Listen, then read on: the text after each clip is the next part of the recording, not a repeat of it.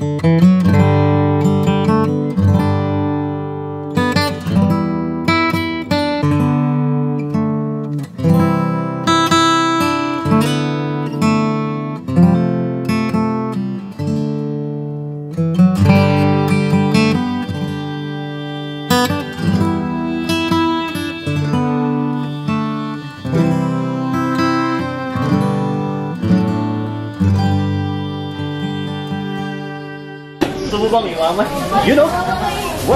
boss? Anong balita sa inyo? Kumusta? Okay mga boss, nandito kami ngayon sa Evergold Gym. This is our last three games po sa elimination round dito sa Everball Basketball Club. And this is another basketball vlog mga boss. And kasama ko yung uh, BJB na basketball club season MVP. Ayan. Euro! What's up mga boss? Kamusta? Sa inyo? Ganun din sa amin. Kaya manood kayo! Masaya to! And okay. Let's go, Boss Gerson Vlog. Please subscribe.